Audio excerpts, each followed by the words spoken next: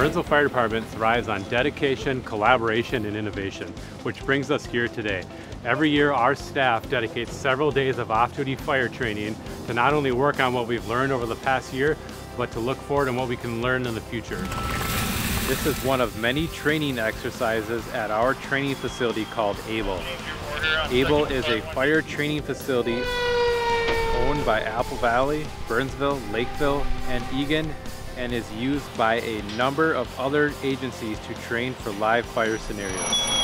Our live fire scenarios are designed to emulate realistic fire conditions, forcible entry, search and rescue, and more.